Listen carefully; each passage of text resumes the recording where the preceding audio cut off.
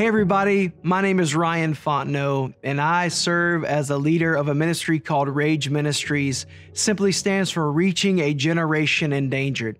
I don't know what brought you here to click on this video that says, Hey, I want to know how to be saved, but I'm so glad you did. And I want to just take a few minutes to share with you a message of hope, a message that literally can change your eternal destination. And I want to do that by sharing four simple truths with you. Number one, I want you to know no matter where you are, no matter who you are, that number one, God loves you. You see, there's a heart and this heart reminds me about God. And the fact about God is this is that God God created you. That you are no accident. Hey, you are no mistake. As a matter of fact, the Bible talks about you like this that the Lord, He knit you together in your mother's womb. That the Lord says you are fearfully and wonderfully made.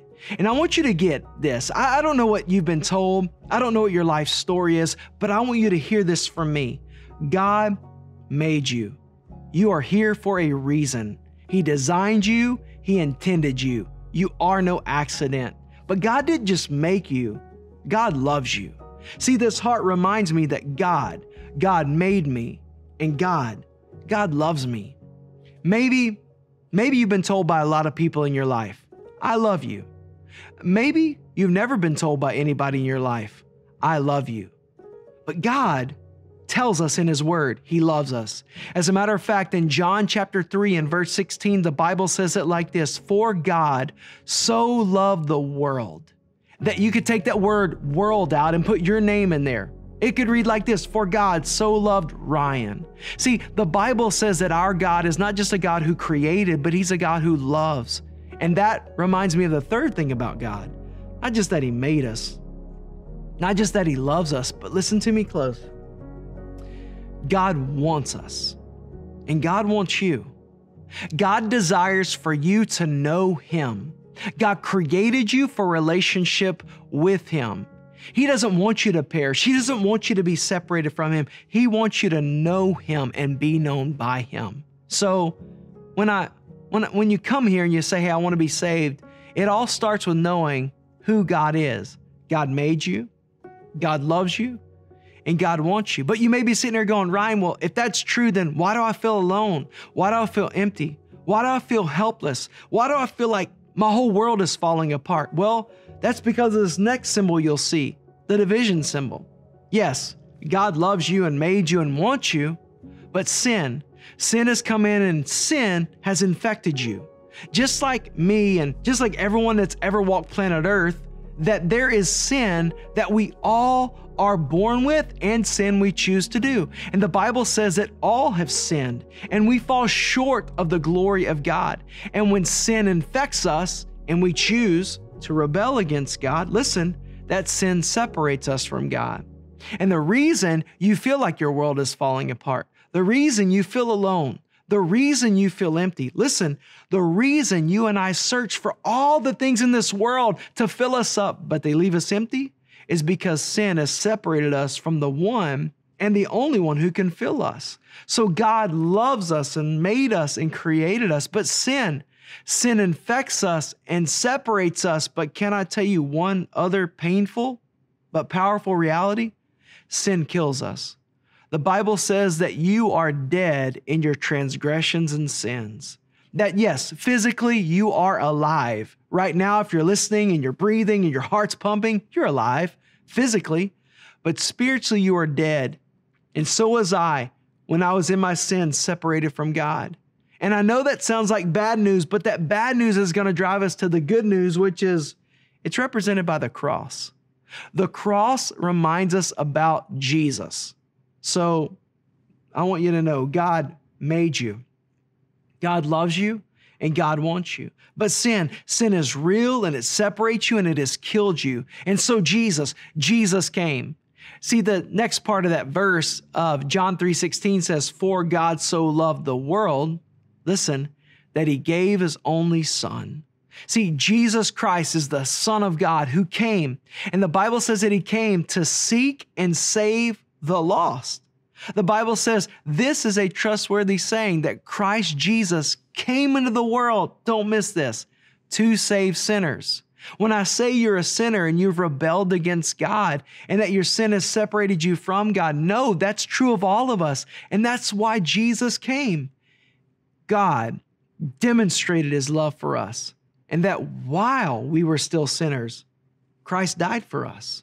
So I want you to get this picture. God loves you. Sin has separated you, but Jesus came to save you. In other words, Jesus came to bring you and me back to God. He is the way for you and I to be restored into right relationship with God.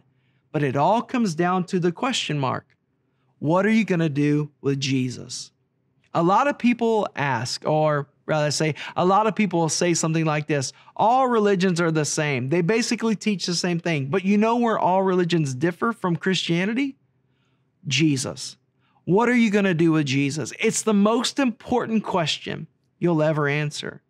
Knowing that God loves you, made you, and wants you is great. Understanding that sin separates you and has killed you is important. Knowing that Jesus came, He died, He rose again to offer you and me life is vital. But what are you going to do with that?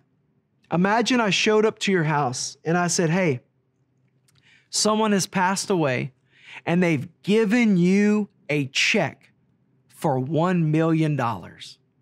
And I say that $1 million is yours, and I hand you the check. Now, if all you do is hold on to that check, put it on your desk in your home, and leave it there, does that ever become yours? No. It doesn't become yours until you sign your name on the check and you make the deposit.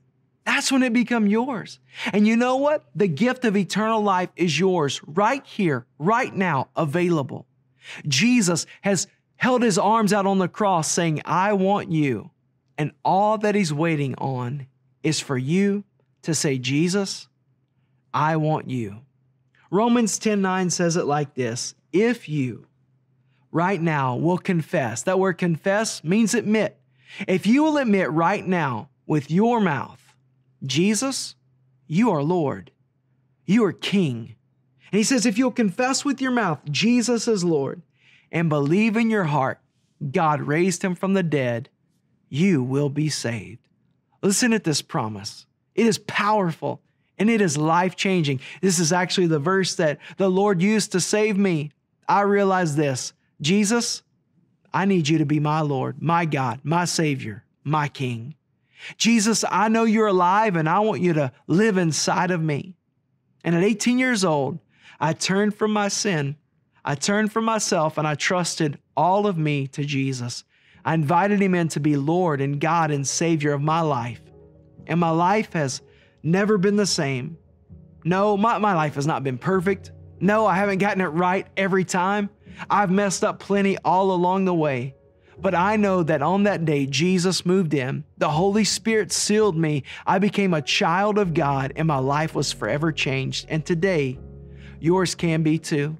So if you are serious right now about saying, hey, I want Jesus, I need Jesus, I'm ready for Jesus to be my King, would you do me a favor? Would you right now invite him in?